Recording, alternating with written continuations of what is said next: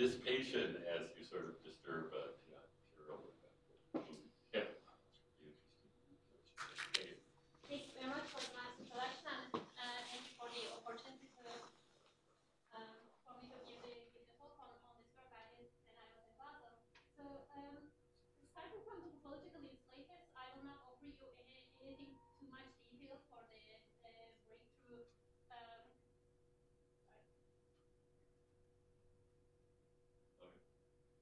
that we don't already know about the topological insulators, but uh, as it sounds counterintuitive, uh, I will talk about the dissipative mechanisms that is uh, presenting in the, in the topological insulators.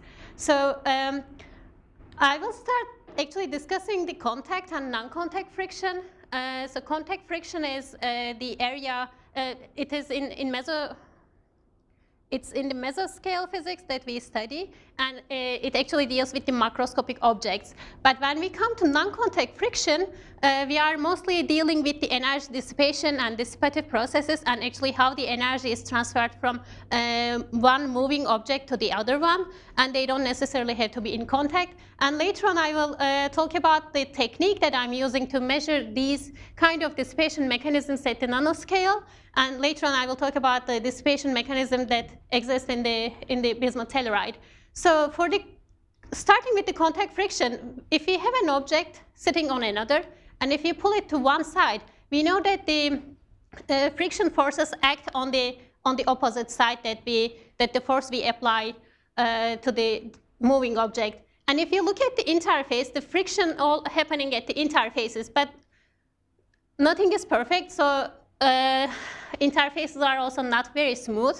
So we actually have these kind of interface, and at some point we may have some these uh, some rolling frictions, and we may have some uh, places that are touching each other, and we also have places that the uh, this nano um, this small part is moving, but it's not actually touching to the other object, yet it can actually dissipate energy. So how this would relate to uh, today's research and technological developments, uh, today everybody is using these electronic devices, and we know that if we use them too much, they heat up. And the reason why they heat up is the Joule dissipation caused by the ohmic resistance that is in, um, in these devices. And then we lose the some of the power that we give to operate these devices to the heat, so eventually the energy is dissipated as heat. This is uh, one of the most straightforward example of non-contact dissipation um, from, the, from the devices that we use daily. And um, it's not only happening in the electronic devices, it happens everywhere. It's just a matter of scale, actually. So for example, if you take a Gal Galileo space probe signal, uh, it can measure such small dissipated power uh, on the surface of Jupiter, but it actually needs 70 meter uh, sensor to, to be able to pick up such kind of low dissipated power. So obviously this doesn't really work for us as we want to work in the nanoscale regime. And then we have a bunch of other techniques that are working in this small scale. And uh, there are very nice uh, studies, and um, some of them are very old actually, um, all of them are trying to understand what is actually happening in these in these materials, and if we can relate to those uh, to those dissipation mechanisms to any electronic structures, and how we can use this information in today's today's research to develop better quantum materials, to design quantum materials, or to even get more coherent electronic states in those materials. So um, in my lab, actually, even before I joined, they already had uh, lots of studies with the pendulum AFM. I will explain what that is later on, but just want to take your attention to the scale spatial resolution um, is around nanometer. So nanometer is, okay, it's a nanoscale, but it is still not atomic. So we can still go more local. But it actually has pretty good resolution. Uh, so it's like 10 to minus 19 watts that would uh, eventually correspond for the force, for example, maybe attonewtons if you have uh, enough soft or sensitive cantilevers. And um, then we can actually probe the maybe phase transitions, or we can probe these uh, collective uh, movements of charge density waves. And coming back to the pendulum AFM, it's nothing but a tiny pendulum oscillating over the surface, uh, which is not in contact. And from that, actually, we can get the conservative forces and dissipative forces.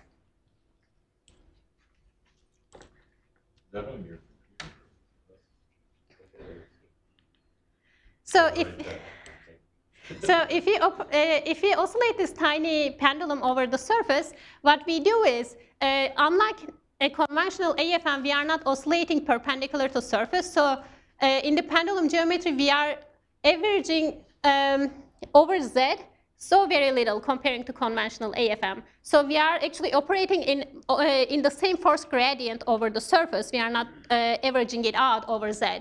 And then, uh, because we can operate it in non-contact regime very well, it's not invasive, and we can use a linear response theory. And we can also tune how much we want to disturb the surface or any, any kind of um, mechanism on the surface. But then again, we, we run into this disadvantage that because it is oscillating in the, in the lateral, we are losing spatial resolution.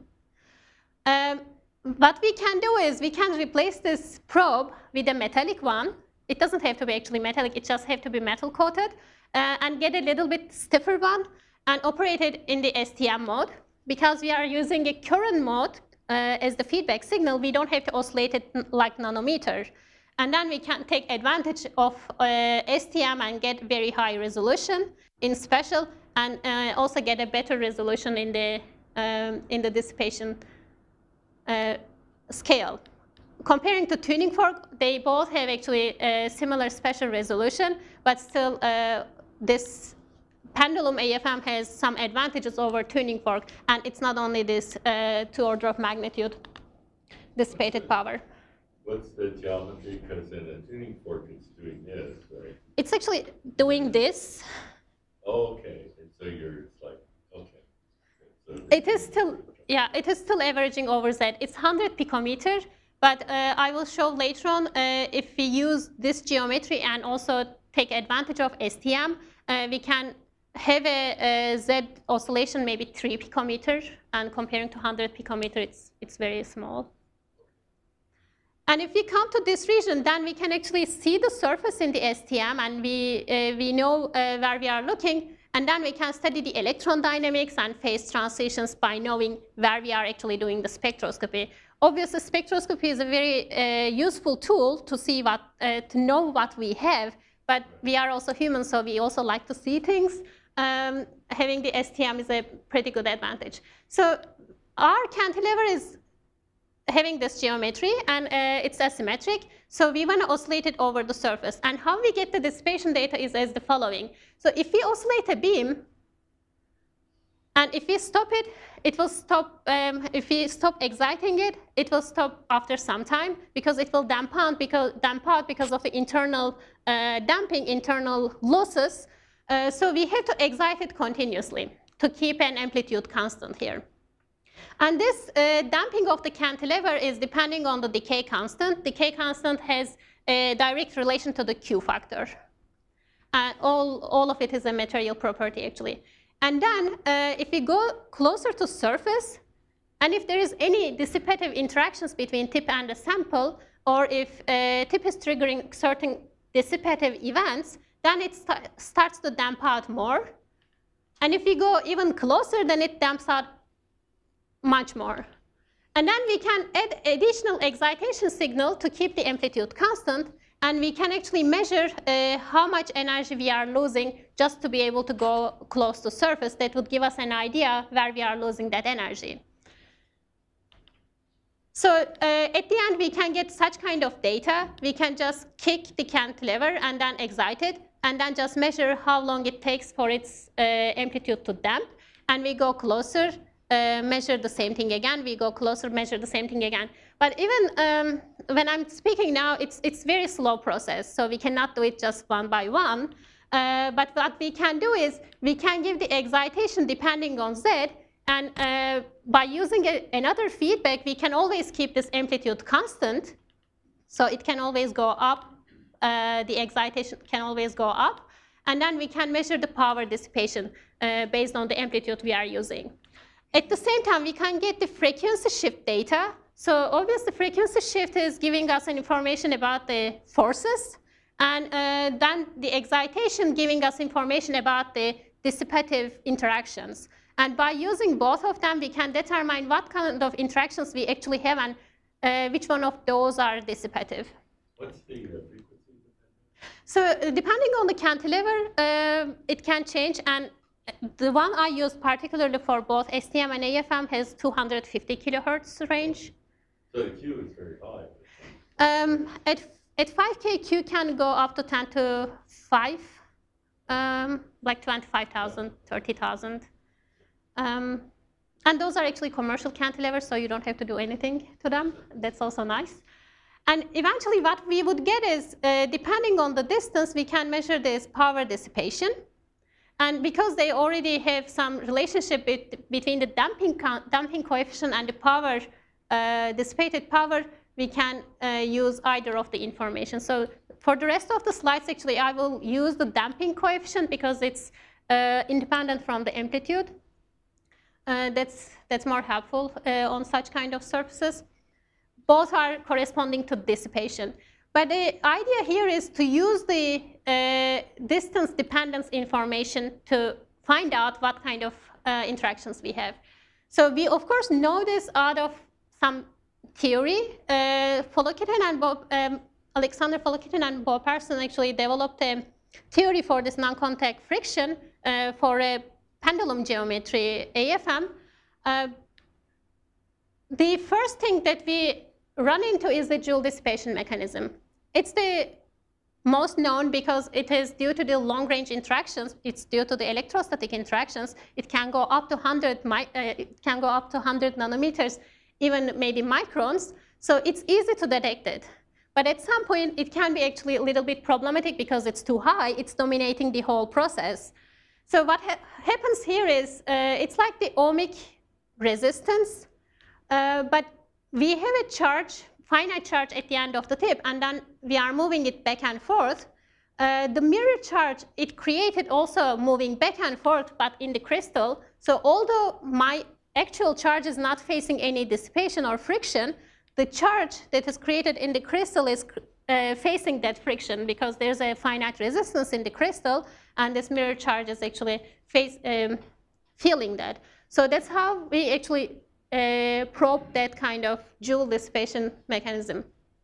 And then if we go um, to the damping coefficient, we see that uh, because it's an electrostatic interaction, it definitely has a voltage square dependence. And uh, distance dependence can be uh, different depending on if we have only insulator, if we have a metal or metal on insulator. Uh, so we have to know a little bit about our sample, but we can actually uh, pick up, find out this, this um, distance dependence as well. If we go to closer region, let's say we don't have any Joule dissipation and we go tens of nanometer closer to surface, then we mostly deal with the stochastic friction force. This is due to the van der Waals interaction between tip and the sample. And uh, here, the example is just a Brownian motion. And uh, we know that, for example, this yellow particle would move from here to here. Maybe it can go here. It can come back again. But we don't actually have any control over it, so we cannot use the energy that we spend on this uh, particle. Uh, it just go any point randomly. So that's how, how the energy is lost here. Uh, an example to this would be, for example, fluctuating charges we cannot make work out of fluctuating charges in the crystal. When you say fluctuating, you mean a, charge, one of these, uh, well, you say things, bounce back and forth? Um, I'm not sure if you can maybe uh, put them into resonances willingly, uh, but for example, if we have a metal and uh, there are charges everywhere, like free-like charges, and depending on temperature, they can actually fluctuate more and interact more. We cannot really use that. That's, that's more what I mean. Or I, I will show later on if you, uh, if you tunnel to a state, then the charges fluctuating there as well. Uh, but at some point, because of these interactions, it, it dissipates again. So you mean it has a temperature? Uh, I mean, we are at finite temperature, yes. It will depend on temperature. So this one also has a v-square dependence, and again, the distance dependence is changing depending on what we have on the, um, on the surface. The third mechanism is happening at the very close distances. Uh, it's maybe needs a bit more energy, but still it's possible to excite the phonons inside the crystal, and when we excite those, we also lose energy to those. Um, uh, we are not going to deal with this too much. We are mostly uh, going to deal with the Joule dissipation and the and the van der Waals friction in this uh, work. Uh, so phononic friction is relatively easy to determine because it's already happening at the very close distances. If we can overcome these two big um, dissipation mechanisms, we can go to very close and find out if it's phononic or not. and it also has a v to the power 4 dependence to the applied bias. Uh, it's relatively easier to distinguish comparing to uh, Joule and van der Waals friction. So coming back to my technique, uh, just to sum it up before I show any data.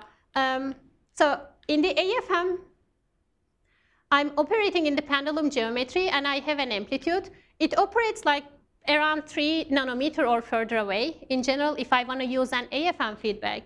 Uh, but then I get a force information. I get a, a, topography with a poor spatial resolution, and I get information about the dissipated energy. And then I can go back to STM because I have a metallic tip now. I can use a current as a feedback. I can get a topography with good spatial resolution, and I can learn about the local density of states. But again, it's a little bit hard to uh, combine these both together.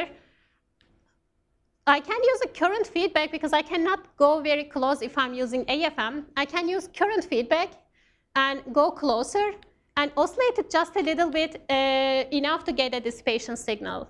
So that would then allow me to combine both the electronic information from uh, current and the, the dissipation information from the mechanism. So when we come to the bismuth telluride, um, so we are happy that there is no electron backscattering because we have a topologically protected surface state. So we shouldn't be having so much uh, Joule dissipation as well. So what we did was to scan the surface with the STM, find a clean area, and uh, get the DIDV and get this uh, Dirac-like cone that's supposed to hint that we actually have the topologically protected surface state, and then do a dissipation measurement on it. So this is the distance dependence, and here is the damping coefficient. And we did all the measurements at these uh, different voltages. When I uh, have the power of it, they are actually showing d to the power minus 1.5 dependence. And uh, if you go back to the um, to the theory, there is actually no uh, theory as as far as I know, there is no theory developed yet for such surfaces for the non-contact dissipation. Uh, but if we take, um, uh, for example, an insulator, bulk insulator, and a metal surface, like as an analogy to topological insulators, because the bulk is supposed to be insulator and the, the surface is supposed to be conducting. So we can take analogy of um, insulating, and on top of it, a metal um, film, then we can maybe use, use that. And if we take that, it also shows a, a distance to the um, 1 over distance to the power 3 over 2. So it's actually fitting pretty well even at different voltages. I guess the, the image chart just, just comes out of actual difference. And so yeah. it just says this stuff underneath is conducting, but you don't, there's no more information in that. Yes. So how does it know the difference from a metallic surface layer and something that's conducting? So that is the electric field lines coming in are coming in perpendicularly with the same spatial. Yes. So um, when we go, for example, to tantalum disulfide, yeah. so you see the, the damping coefficient orders are quite, I mean, it's not high comparing to uh, some high resistive That's things. When you move it. Yeah.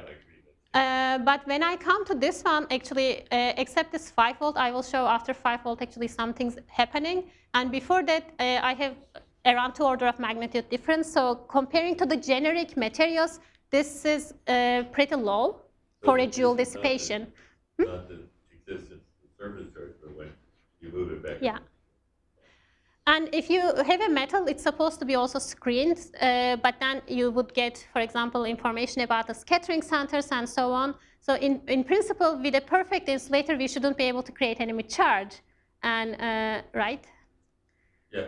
Uh, well, but I mean, when I bring this this charge close to the insulator, only insulator, yeah. it shouldn't really create a, create a charge inside. Yeah. I mean, it's, it's exactly, yes, it's, it, nothing is perfect, but in a perfect world, with the insulator, it shouldn't happen. Should it? I think so. Okay, maybe we should discuss that. Go Um, but let's, let's assume that we don't actually have uh, this image charge created in the bulk, but uh, mostly affected by the, by the thin film over Yeah. the surface. And when we go to 9 volt, actually, what happens is uh, it's coming and then it's rising. There's nothing wrong about that, but it's rising around 10 nanometer, and then it decreases a little bit. It's not going to the background. So, I mean, I would say that there is actually a, some dissipation channel is opening, and it's not actually fully closed. And then it's rising again. It's not going back. And, but it's not continuously rising. There's something happening at, at certain distances at this voltage. So we cannot actually explain this by the topological insulator uh, or surface state behavior. And coming to the STM, uh, these energies are too low comparing to the 9 volt.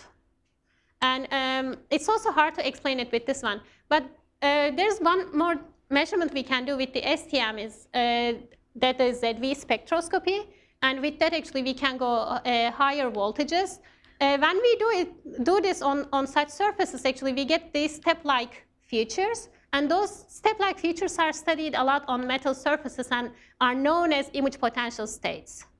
So those are the states if, we, if there's a band gap on the surface projected band structure of a metal, and if there are excess electrons on the surface, then uh, this Coulomb-like potential is creating some unoccupied but uh, bound in Z states. And those states are um, described like Rydberg-like series. They are following that kind of energy dependence. Uh, and they are unoccupied. So those states are actually studied a lot by the two-photon photoemission, inverse photo uh, emission studies, and on metals they are pretty well known. Uh,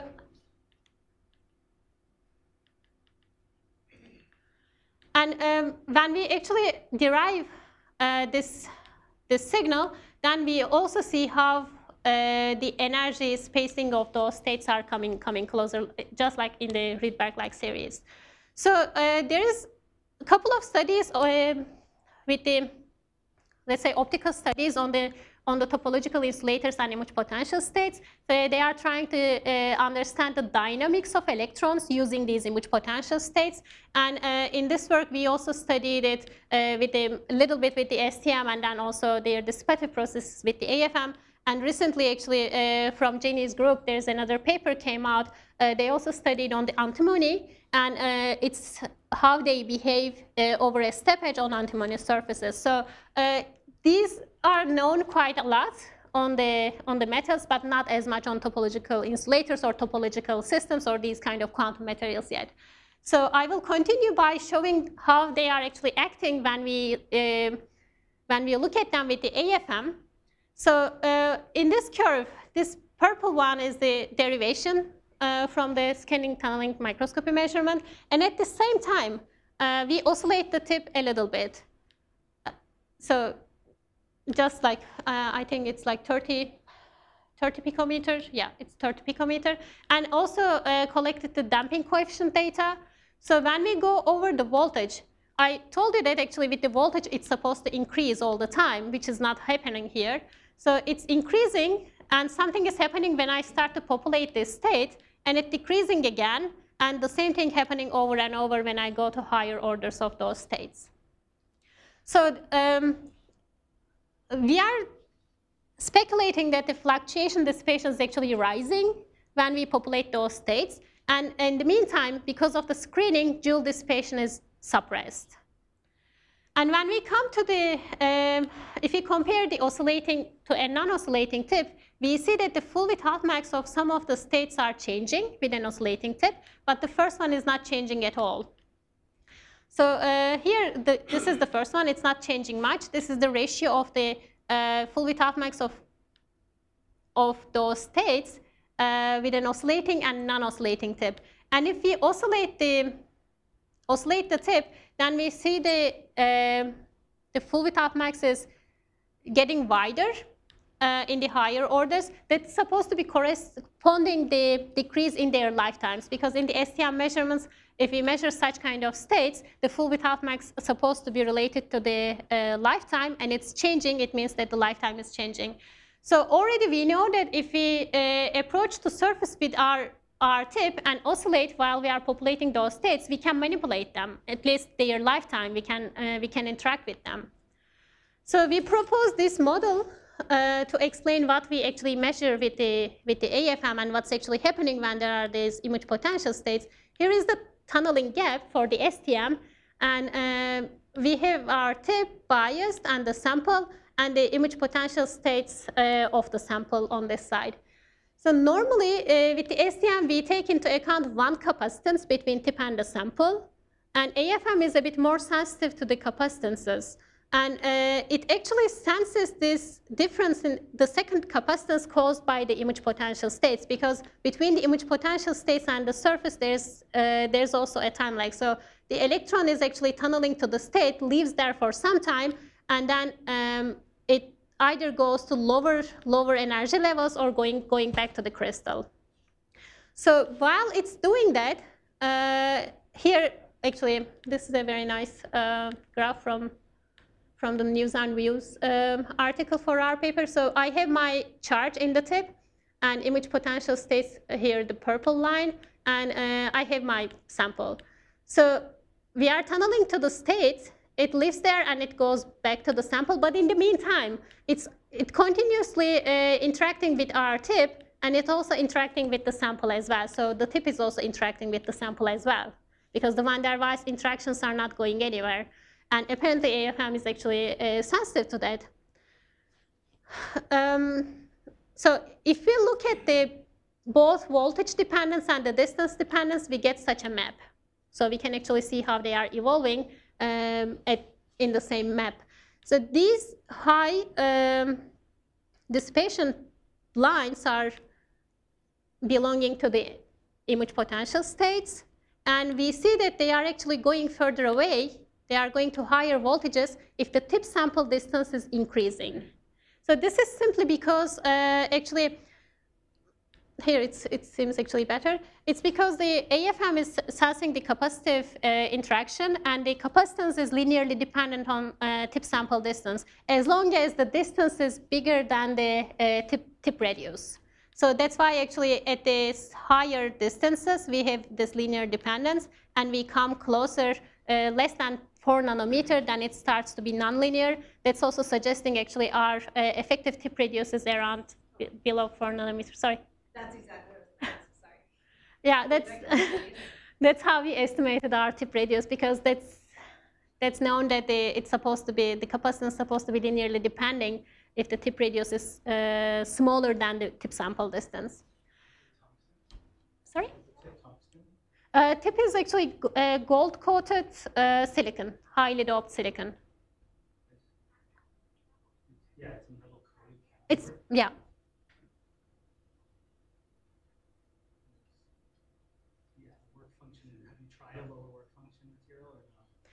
Uh, so we uh, actually those cantilevers are only available with either platinum coated or gold coated.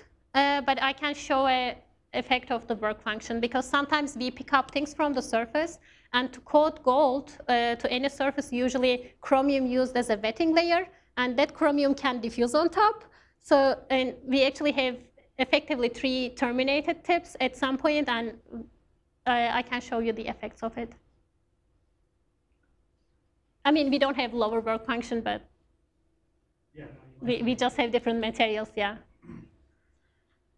So if we take a cross section uh, around like five nanometers, we get this kind of uh, voltage curve. Uh, and here is the, the force showing a nice parabola. Okay, nice, we have some electrostatic interaction, but we don't have a parabola here. And those maximas are also uh, corresponding, corresponding to the image potential states. So the these damping coefficient actually, if we calculate, uh, corresponds to tens of milli eV per cycle. Uh, cycle is the cycle of our cantilever, which is at 250 kilohertz. And uh, it's from the previous studies, it's known that this is corresponding to single or few electron tunneling. To, with the quantum dot studies, it, it can be measured. And uh, it's corresponding to single or few electron tunneling. And uh, that's exactly actually what we are suggesting here as well. Uh, so I promised you that has something to do with the topological insulators. And um, so far, we only measured that there may be some image potential states and they may be dissipative. But what happens to the topologically protected surface states or if we, if we remove it? Or do we actually have it? So we did a magnetic field dependence measurement. And here is the damping coefficient at different magnetic uh, fields perpendicular to sample. Um, this is the curve just I, I showed you just one slide ago but uh, they are shifted just for the clarity. So those peaks are my image potential states. And when we go to higher magnetic field, they are going to lower voltages. Actually, we don't have full understanding of this, why this is happening. But another thing we realize here is that they are becoming less pronounced actually when we go to high, uh, high magnetic field. It's not that they are going away, but the, the parabola is actually approaching to being a real parabola here, and they are becoming, they are staying in the background. So higher magnetic field moves the peaks to lower voltages and uh, makes the peaks more suppressed. And the, the curve itself is approaching to parabola. And what I told you was that the parabola is suggesting a strong joule dissipation. So let's look at the So the, the magnetic field perpendicular sample. I mean, also to tip, yeah. So at the, at the zero volt, without having additional electric field, uh, we look at how the, how the damping coefficient is actually changing. And when we uh, plot singular data here, we see that up to 0.2 millitesla, uh, 0.2 Tesla, it's not rising at all. And after that, actually, it's after around 0.3, it's starting to rise. And actually, this um, this is following a Kohler rule because uh, if you apply, because of the magnetoresistance and if you uh, increase the resistance in the crystal, then it's also starting to rise. So here, what we are suggesting is that uh, we break the topological protected topological protection by applying a magnetic field, and when it is lifted, uh, then the um, electron backscattering is coming back in action. And when we have the electron backscattering, this is contributing to joule dissipation. That's why uh, this, is, this is rising. And this is only happening after 0.33 Tesla. So to sum it up, actually, um, we measured image potential states on, on bismuth telluride. um, and with both scanning tunneling spectroscopy and dissipation spectroscopy and that they found out that the dissipation due to fluctuation is enhanced by the presence of image potential states. And actually, I, I would like to note that the reason why we could actually measure such kind of um, dynamics is because its joule dissipation was already low. So uh, with a sample that has high joule dissipation, that would be very hard. And this suppression is happening because uh, there is no electron backscattering thanks to this topologically protected surface state. And then uh, by lifting the topological protection using a magnetic field, we measured that the, um, the joule dissipation is also rising because uh, as a result of electron backscattering. Uh, so this work was done in univers at University of Basel, and um, I was in the group of Ernst Meyer while I was doing this work. And uh, I'd like to thank Marcin Kisiel uh, personally because uh,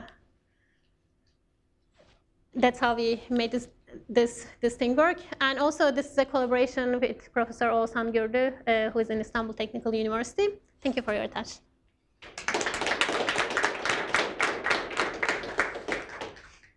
Question?